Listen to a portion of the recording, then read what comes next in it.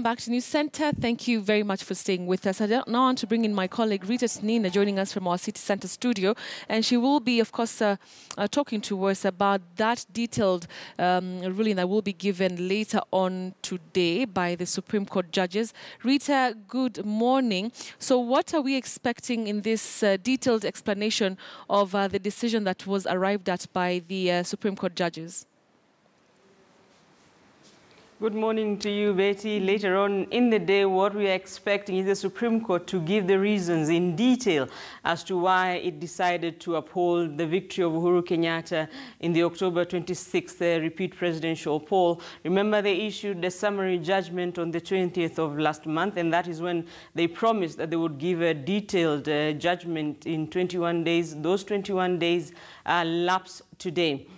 This second petition, remember this was the second petition following the elections. The first petition uh, was after the August 8th elections and which was filed uh, by NASA. This second petition was filed by former MP Harun Mwau and two activists, Khelef Khalifa as well as Njonjo Mue. And what the judges, among the issues that they will be addressing, these two cases by John Harun Mwau, Khelef Khalifa and Njonjo Mue uh, were consolidated, but lawyers for both of them, the both uh, parties, petitioners, says, uh, were allowed to make uh, their arguments in court. But during the summary judgment, the judges uh, said that they had uh, uh, consolidated the, both petitions into 14 issues. One of them is the issue of nominations. In his uh, petition, John Harun Mwau had argued that the IEBC failed to conduct fresh nominations ahead of the repeat presidential poll. The judges will also be explaining whether the withdrawal of the NASA flag bearer Raila Odinga from the presidential race had any effect Remember, Raila withdrew from the race on the 10th of October, just days uh, before the repeat presidential poll. And what uh, the petitioners were arguing is that the withdrawal of uh, Raila Odinga should have ensured that the IEBC had uh, called off the elections until fresh nominations were held, until other candidates uh, were given a chance to take part in the elections, despite the fact that uh, the High Court had ruled the following day after Raila Odinga withdrew on the 10th of October.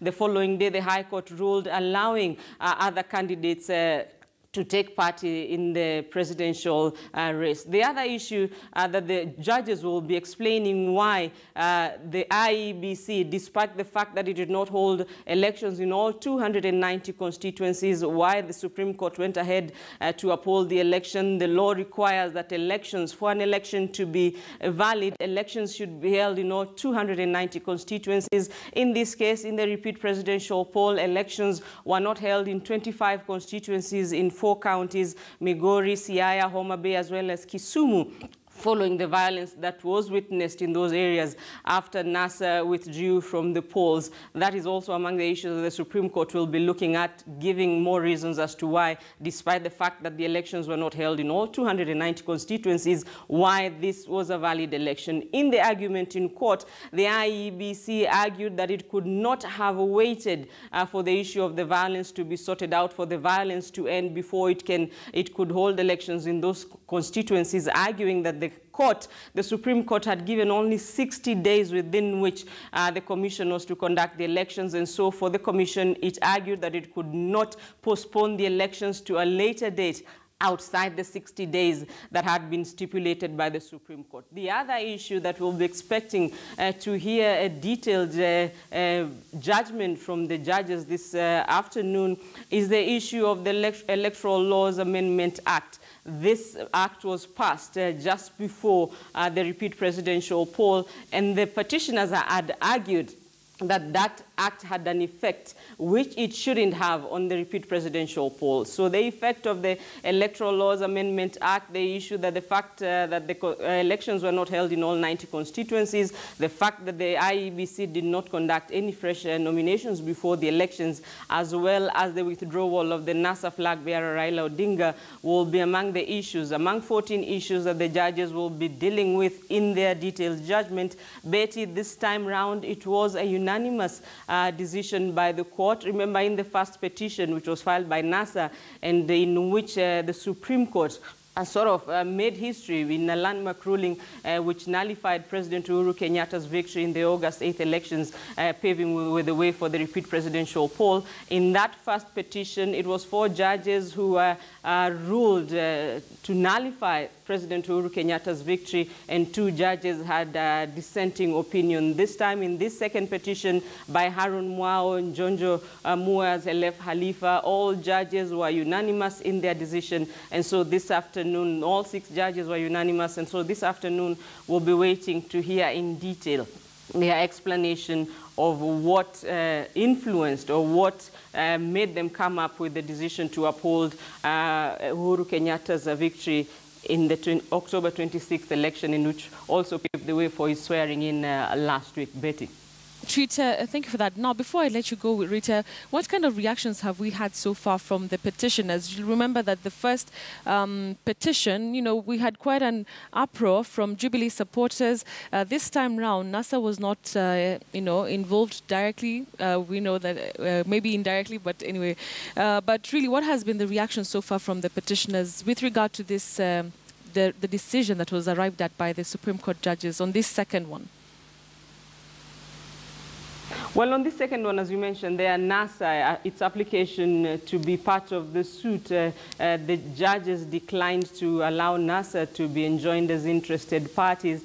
And even after that judgment on the 20th of last month, there was mm -hmm. really and not compared to the first petition, the reactions were not as, as forthcoming as before. And already this time round, President Uhuru Kenyatta has already been sworn in. There was anxiety on the 20th as the country was waiting for the judges uh, uh, to deliver their ruling. Now that they delivered their summary judgment, which uh, upheld Uhuru Kenyatta's win, there isn't much. Now what the country is waiting to know, and perhaps more so uh, for those in the legal fraternity, waiting to know exactly why the judges came up with a decision. This is basically in detail. Mm. The country already knows Uhuru Kenyatta's uh, victory was upheld, so why was it upheld? That is what we are waiting for this afternoon, Betty. All right, Trita Sina there reporting from our City Center studio. Like she mentioned, um, you know, the Supreme Court judges will be giving a detailed explanation of why they arrived at um, that decision of upholding uh, President Uhuru Kenyatta's win on the 26th of October. All right, so we'll come back to our discussion here in studio. And uh, I'd like to hear your thoughts on, uh, before even we get back to our conversation earlier, what is it that you are expecting with this detailed explanation? Um, I am expecting that the judges are going to reconcile mm -hmm. that big question of the 25 constituencies that never uh, did uh, an election. Yeah. Reason being, um, the judges must be very careful not to balkanize this country. Mm -hmm and not to mean that democratic space ought to be constrained to some people and, and expanded to others. The, I also wish to see how they are going to reconcile the right of every Kenyan to participate in an election and to vote.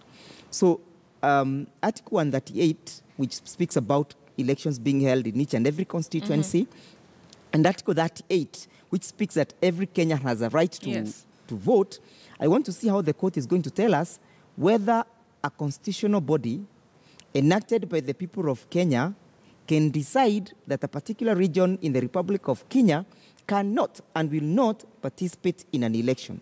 Secondly, I want to see how the court is going to dissuade future political processes from using the same reasons that were used during these second elections from defranchising mm -hmm. a great number of Kenyans the other thing I want the judges to tell us is whether or not that elections are, are held in the Republic of Kenya as a nation or as regions. Those are some of the reasons mm -hmm. that uh, uh, we are waiting to see and expecting to see. Secondly, right. we are also going to see how this jurisprudence from the court, now the 8th of August jurisprudence and the 26th of, of October jurisprudence, is going to inform the electoral processes, the future electoral processes. Essentially, what the judges should, be, should do, we are hoping that they're going to give us well thought out legal reasonings mm -hmm. that will help us arrest or abate the, the political uh, turmoils that this country has undergone because of what is called election and electoral injustice or justice. All right. Interesting. So, so uh, as I sum up, then um, the question then would be, from what the court will tell us, is Parliament ready? That is the National Assembly and the county and the, and the Senate needed to absorb the thinking and the wisdom of the judges to inform on our election act to our constitution. Our constitution needs to be relooked again. You remember the argument that actually uh, came out in court was that uh, despite that the 25 constituencies were not able to participate in an election, Yeah. we did not have time for us to conduct a, a- a- repeat election in those particular constituencies because of constraint of time. The question then would be, can the judges make a recommendation whether or not we need to look at the scope or the period in which a repeat election ought to be held All right. and expand the And number of the days for, for mm-hmm. future eventualities mm. and posterity. Mm-hmm. We also need to look at, do we also need to look at the days in which the Supreme Court ought to take to look at a presidential election? Mm-hmm. Is a 14 days period and Enough. widow enough for people to make substantive arguments and for the judges to have a clear thinking? Mm. Why am I asking this? I am asking this whether or not we need to look at the reason of uh, amending our constitution and expand the number of the days because when, when we dealt with uh, 8th of August election petition and the judgment that was given by the court, and mo- most importantly, the, the, the judgment of the minority, we had Justice jo- Njoki Ndung'u dissenting and saying that uh, the elections were good. Okay, that was her judgment. But when it came to her, when she came to her detailed judgment, 21 days later, Yeah. She gave a 400 page document of a judgment, which detailed and, and shown that she actually went to a length of, uh, of scrutinizing the forms that were an issue during that court.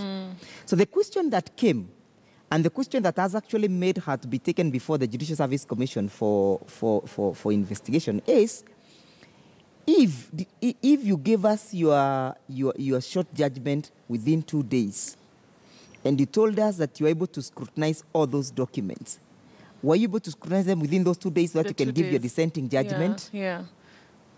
So those are some legitimate Some questions. questions. And why we need to ask them, difficult as they may be, is because this country, democracy is premised on legal infrastructure. If we get the legal infrastructure wrong, we'll always get the political results wrong. All right. Yes. What do you think that uh, these two processes, these two petitions um, uh, that have been handled by the Supreme Court, Yes. have done to our electoral process? What has it ignited in this whole process? Because this is the first time, really, that we saw this major historic decision from the Supreme Court um, in regards to the August 8th election. But what else has it ignited? Uh, one, one thing, uh, Betty, the, the, judge, the two judgments have done, Mm. they have entrenched the divisive politics in the Republic of Kenya. Just like Really? Mm-hmm. you've heard Justice Wanjala saying, and, and actually uh, the, the, the retired Chief Justice saying in the interview that we gave, the clip that you shown. Mm. Why? Why? Because in, two, in, in August, on 1st of September, it is NASA who won. On, on, on, on uh, 20th of October, Of October. Of, yes. it's of November. November. Sorry, it is Jubilee who won. So this judgment, the, the, 20, the, the, the 1st of September judgment belongs to NASA. The, the 20th of November judgment belongs to Jubilee. So, and that's why you're asking um, uh, uh, Rita, what is the mood outside there? And she was saying, essentially, there's no excitement because we know the process of swearing in. There is no, the, process, the, the, the, the divisive politics I'm talking about is when we should be able to view judgments coming from courts as judgments belonging to a nation, mm. not as Not a party or. not a party, Yeah. all a, a fraction, a political fraction. Mm. So the judgment of the, the Supreme Court mm-hmm. dealing with the most sensitive issue of the presidency ought to be accepted as a judgment that belongs to the Republic of Kenya. Mm. And that is why it was so bad in, in, in the judgment of 1st of September mm-hmm. When we saw one function reducing the other function. It has also repeated itself again, saying, uh, when, you, when you've seen after the 20th of November, one group of political uh, grouping is ridiculing the other grouping. Essentially, the judgment should be able to have a reconciliatory mood and reconciliatory theme All right. so that you can put the nation together. together. Yes. Uh, in terms of building jurisprudence, and I remember we had this conversation. Yes. You know, whichever way the Supreme Court judges, you know, would have, um, you know, made this the decision, either upholding this second one, uh, the win of Uhuru Kenyatta or not. Yes. Um, you know that. Both scenarios would have still built jurisprudence Correct. for our electoral process. Yes. What do you think um, will be the take-homes? I know, I know, we will be waiting for the detailed judgment to, to, to understand that. But what do you think is uh, some of uh, some of the things that we can take home? Uh, just looking forward to the next um, processes, if we have any in future. I, I think uh, one of the take homes that we must is to call the nation into a self introspection process. We need to have a self introspectory processes of uh, reviewing the way we do our political processes. Most importantly, whether or not we need to overhaul the, the Election Act. Secondly, whether we also need to overhaul the IBC Act and whether we also need to do amendments to the Constitution. Let, me, let me begin by the, the, the, the, the suggestions that I'm making about overhauling the, the IBC Act. Remember, uh, the, the, the IBC is the only body that is mandated to conduct an election in the Republic of Kenya, whether a fresh election, whether a general election, or a repeat election, or a rerun. And, and these three processes, these three elections, have different consequences. An ele- a general election that is successful and that is credible and and that is, yeah, that is uh, uh, laced with integrity means that it is going to be a result of an election that is going to be widely accepted. When it comes to a rerun, we still do not have a lot of divisive, uh, divisiveness in the country because it is the two runners up who are running. But when it comes to the, election, the fresh election that was, was, was ordered by the Supreme Court on, on, uh, on 1st of September, it comes as a result of a legal process that has been prejudiced, an election process that has been prejudiced, an election process that has not complied with the law, an election process that has faulted and uh, had a lot of transgressions on the law, as opposed to a general election and a rerun. Okay. So the question then that needs to, to, to, we need to interrogate is a commission that presides over an election that is nullified. Is it still competent enough to oversee a fresh election? Or is it, is it laced with suspicions? And those suspicions are the ones that made uh, NASA to withdraw from the elections. yeah. Remember, some of the clamors that they had were the clamors for uh, irreducible minimums. Some of the irreducible, irreducible minimums that were being focused on were actually focused at the institution of the IBC Yes. as a whole.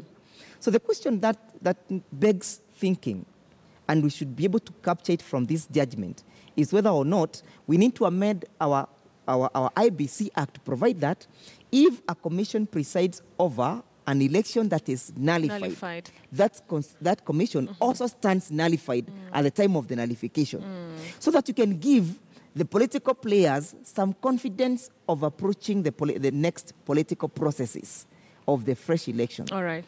God was on our side uh, in, in the 2000 and, uh, on the 26th of August.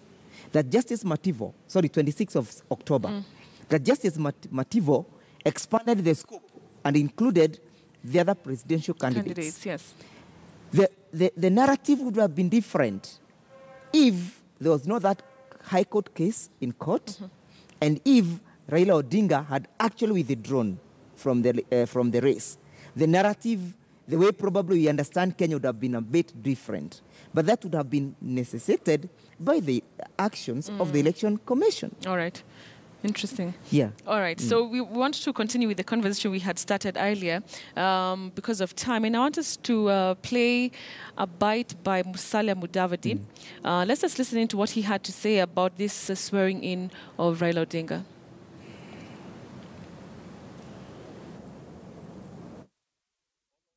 Following extensive internal consultations and engagement with a wide range of national and international interlocutors, the NASA leadership wishes to advise the NASA fraternity and the general public that the swearing in of Right Honorable Raila Amolo Odinga and His Excellency Stephen Kalonzo Musyoka as President and Deputy President of the Republic of Kenya and the launch of the People's Assembly scheduled for Tuesday, 12th December, have been postponed to a later date.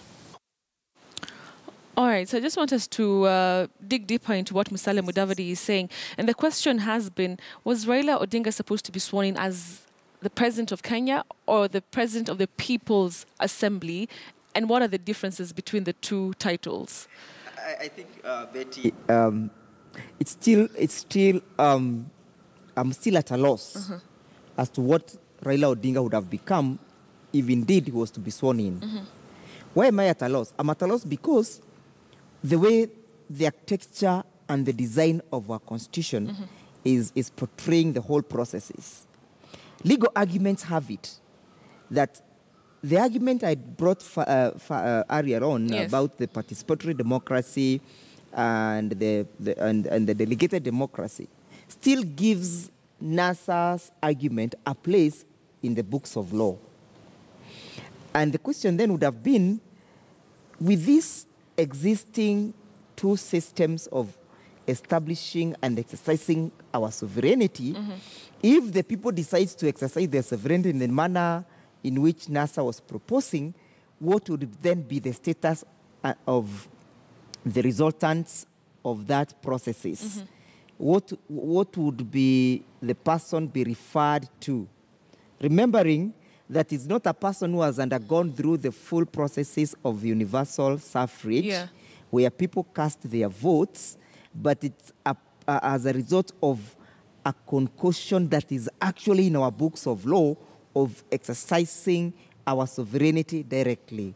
Remember, Betty, um, one thing that we must interrogate in our constitution is that even when people go for, goes for universal suffrage, they're also exercising their powers directly.